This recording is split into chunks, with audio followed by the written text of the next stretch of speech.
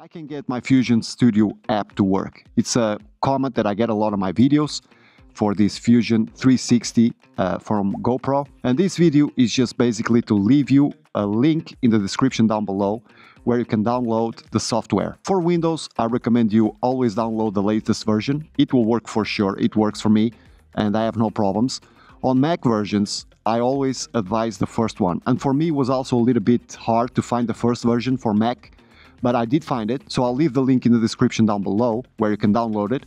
And the video is just basically it. I just wanted to leave you with a program where you can download it, try it out for yourselves so you can enjoy your GoPro Fusion 360 and I'm definitely sure it works.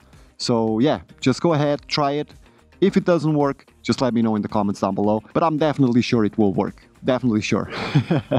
if I still think that the GoPro Fusion 360 is still worth it in 2025, Absolutely. This camera, it's very fun to work with.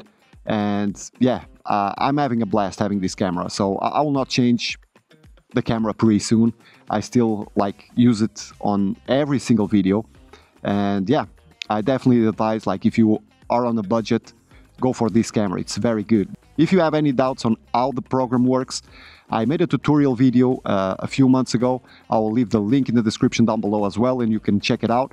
And yeah, that was basically it. Thank you so much for watching, for tuning in. Thank you for being on that side. It really means the world to me. If you liked the video, please don't forget to leave a comment, like, subscribe, all that good stuff, man. You already know it. And I see you all around in the next video. Take care, y'all.